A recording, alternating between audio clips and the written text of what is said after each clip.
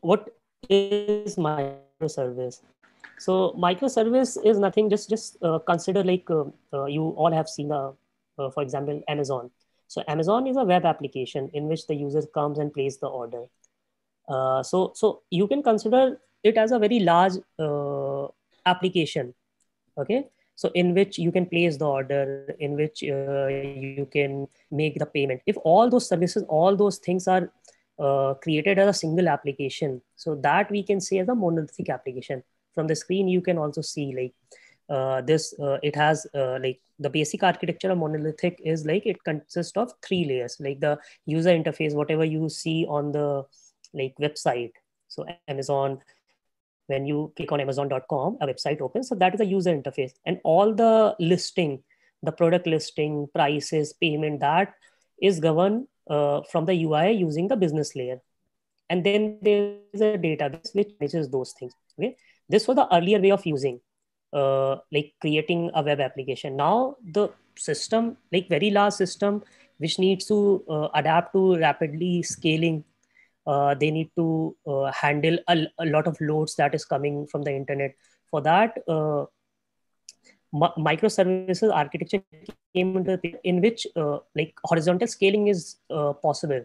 Like more more application more microservices can be added at the uh, without making application like uh, uh, uptime cannot be compromised. E- even your application is live you can add more server add more application.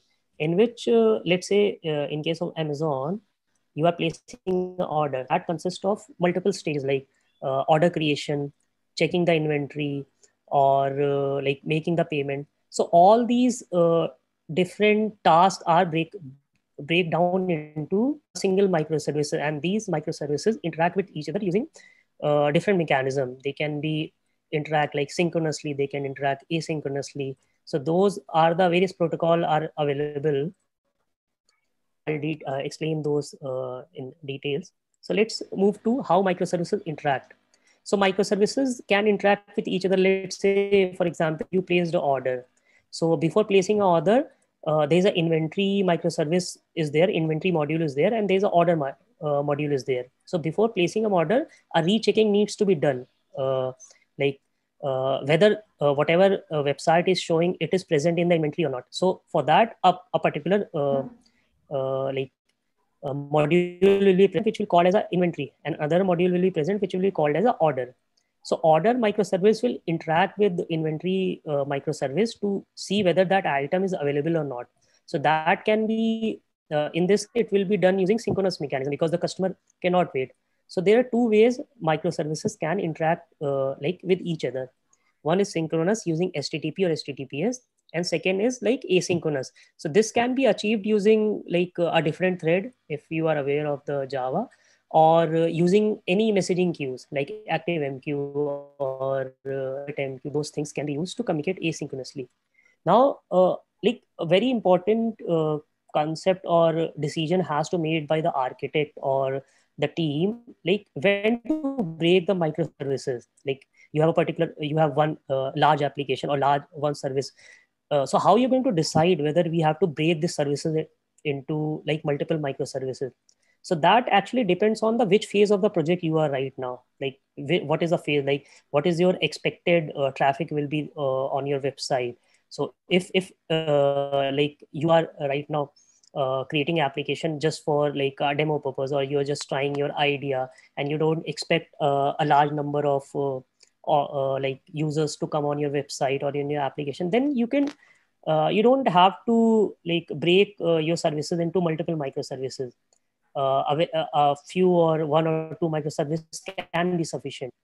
Or uh, so so those uh, points needs to be considered before uh, dividing your application into multiple microservices.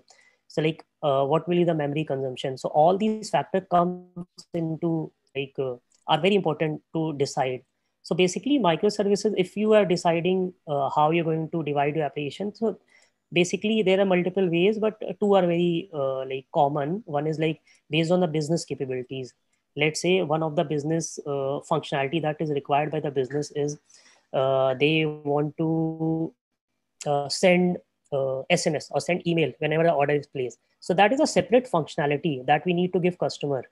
So uh, like communication microservice can be one that is created. And uh, we don't have to very we don't need to very uh, like real time send the sms it can wait for two three minutes. So that can be uh, that can communicate using asynchronous mechanism.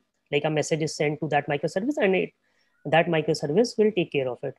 And another one is like uh, domain driven design. In case of domain driven design uh, like you divide your microservices based on the domain. Like one can be your inventory module like all the inventory related data or all the company related data like uh, can be put into inventory module. All the things that you're going to showcase on your website or your web application. And the other domain can be like uh, your uh, partner. What all partner at the backend will interact. So based on like mostly microservice gets divided into multiple microservices based on these uh, two consideration like either on the business capabilities or the domain driven design